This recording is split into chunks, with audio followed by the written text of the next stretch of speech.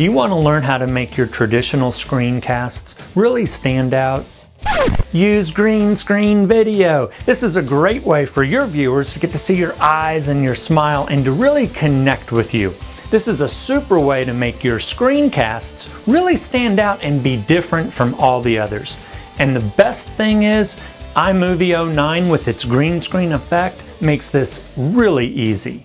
Now I have to tell you, this is a more advanced effect and it requires a lot more planning and work than a traditional screencast. If you're new to screencasting or if you just need to get something done in a hurry, you may want to stick with the easier picture-in-picture -picture effect. But if you're ready to take your screencasts to the next level, here's a five-step process to help you incorporate green screen video into your screencasts.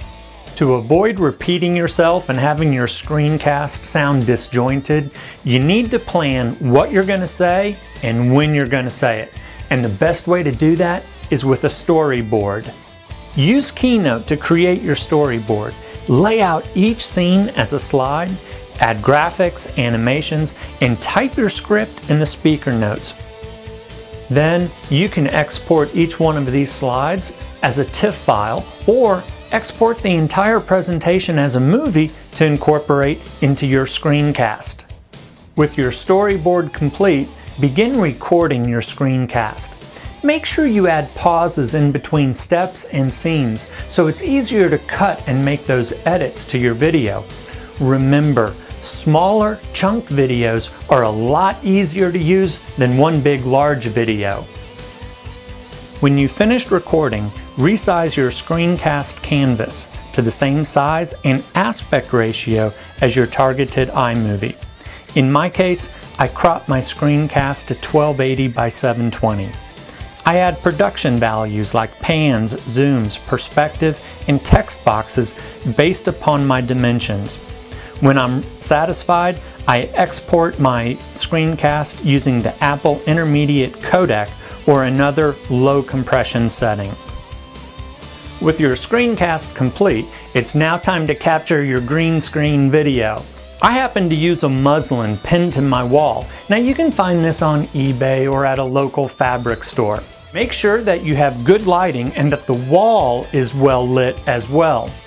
And instead of using your webcam, I encourage you to use a camcorder that has a mic in jack so you can use a lapel microphone.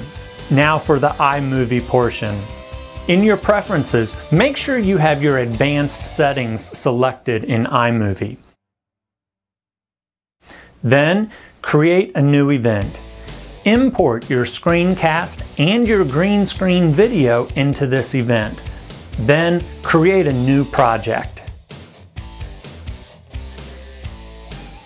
What you want to do next is you want to select your screencast portion of the video.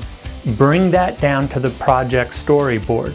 Then select and drag your green screen video and place that over the screencast video.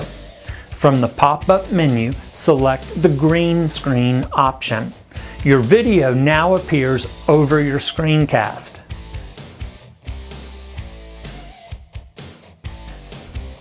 Drag the green screen clip horizontally to adjust the starting location. You can crop and apply color correction to the green screen video through the Video Adjustments panel. And to accelerate clip settings, copy and paste the adjustments between your green screen clips. After you've created your green screen footage, there are three refinements you may want to include. First, you may want to add a freeze frame to your screencast video. This is great if you have an introduction and you want to make sure that your introduction doesn't talk over your screencast. When you create your freeze frame, give yourself plenty of length. Then use the trim to playhead command to trim that extra freeze frame video. The second refinement you may want to consider is exporting your movie and then re-importing it so you can smooth out the transitions on your green screen overlays. iMovie doesn't allow you to have transitions between green screen clips, so this is a way you can get around it. And the third refinement you may want to consider is go ahead and add transitions between the clips and at the beginning and end of your movie. And then finally, if you want, add an audio track that plays underneath it. So there you have it, a five-step process that'll really make your screencasts pop by leveraging the green screen effect in iMovie along with your screencasts. Hey, I hope you got some creative ideas out of this presentation, and I look forward to seeing your screencasts soon. Until next time, bye-bye.